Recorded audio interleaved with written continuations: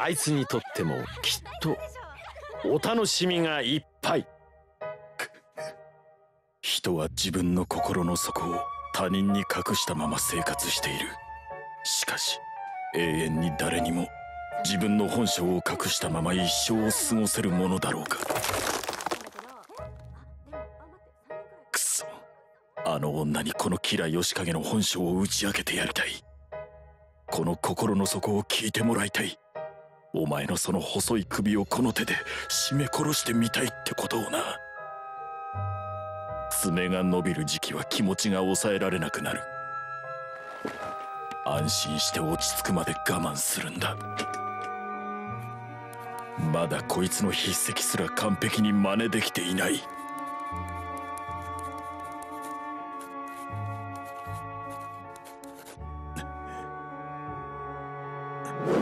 東方丈介空城城太郎め奴らのおかげでこんな目に。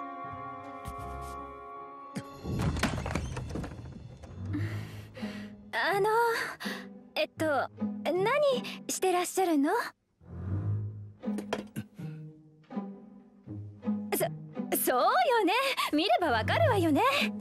本読んでらしたの。そのお茶入れたから。珍しいこともあるもんだって思ってるかもしれないけどよよかったら飲みたくなければ別にいいけど。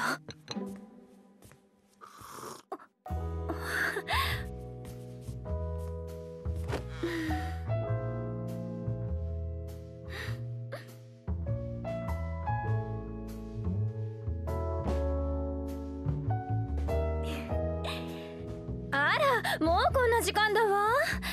そろそろ寝ようかしら。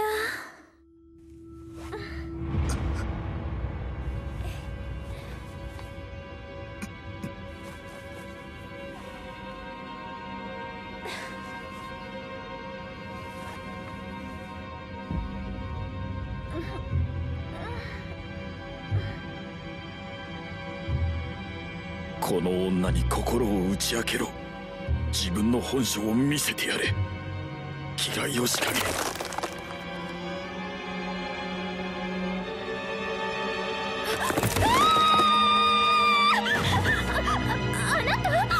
しまった。打ち明けるのはまずい。奴らにバレてしまう。驚かしてすまない。せ背中のボタンを外そうとしてくれたのね。驚かしてすまないですって。とんでもないわ。最近のあなたの行動すごくドキドキするわ。そしてすごくワクワクするわ。私あなたのことが好きになってるわ。